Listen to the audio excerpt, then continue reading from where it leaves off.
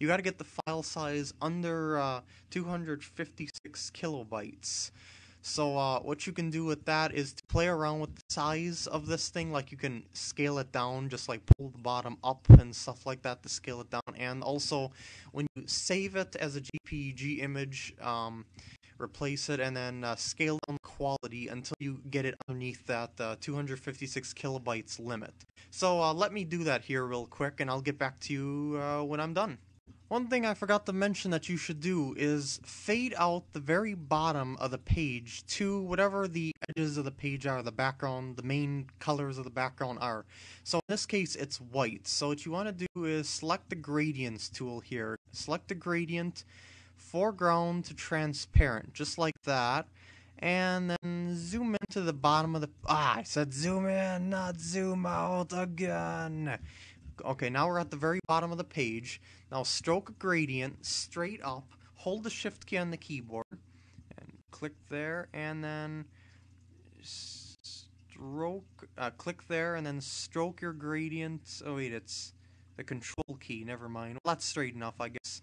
And then that'll make the edges of the screen fade out, just like that. Alright, I seem to have found the right balance. Uh, save it, replace. I saved it at 52% quality. It's just what I have to do to get it underneath that uh, uh, file size limit here. So if we go to the uh, channel templates here, the blood theme is 253 kilobytes, so it's just under it. But don't worry, it doesn't decrease the quality that much. It does decrease the quality a bit, but that's uh, the balance that I had to do. And I also made the image uh, 1800 by 2200, and I also made sure that bottom of the page is faded just like that. What that does is when the uh, template is on your page, or the yeah, the channel theme is on your page, that will make it so when it gets to the edge of the page, if you have a really long channel page, it'll fade everything out and then you can just have white. Uh, Alright, now I'm on my backup channel, PK Gam TV, so as not to uh, show off my subscribers the new channel theme, I would like to surprise them. and I, I, doubt that they check this channel as often as they do the other one. But anyway, let's uh, make a new theme right now. Just like that, you click themes and colors, and I'll make a new theme. I'm going to call this one Bloody, of course. And uh, delete your background image if you have one.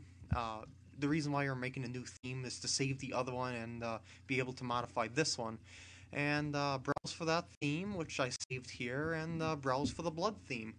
Now, uh, wait for it to upload whenever, wherever that is. Um, any day now, you can kind of... I know it's under the file size limit, so give it a little bit of time. I'm going to uh, cut this video off, and uh, whenever it gets to the thing... Yeah. okay. Alright, finally! That took forever. The, as you can see, the channel theme is on my page. Everything is lined up nicely. It's looking good. See with the little extra details I put over here? It's it's not in the way of any text. Same goes with my bloody name up here and the, the stuff that's behind this blue thing here, but crosses over the black lines up there. Um, okay, now, what I'm going to be doing is theming this right now. Uh, what you want to do is, because I have a white color here. You want the background color to also be white. That is this one right here, which is perfect then. Um, the wrapper color, I'm going to make that one a darker red to fit it in with the rest of the theme, just like that. Uh, link color, also going, I'll make it a brighter red. Yeah, I'm going to be making this a reddish, bloody theme, of course. Uh, I, uh, I could change the text color, the body text color to uh, to a red as well, like a darker red or something like that, like that. That that'll theme it out a little bit better than just plain old black text. I'll leave the headers at black though, just to give them a little bit of character. Uh, make sure that the wrapper transparency and the transparency are both at 100% and keep the values as they are right here. Just in case you can't see it, here's the values that I use for uh, my channel here. You can do whatever you want with your channel, but this is what I'm going to be using is right here.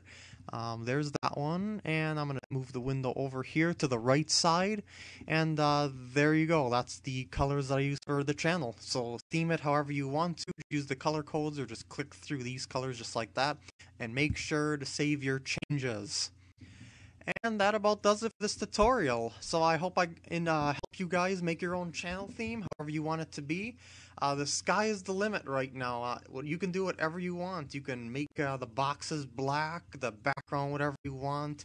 Anything you want, you can create using that. As long as you can create the boxes, you can create your own theme. Uh, yeah, I hope you guys enjoyed this video. I'll see you guys later.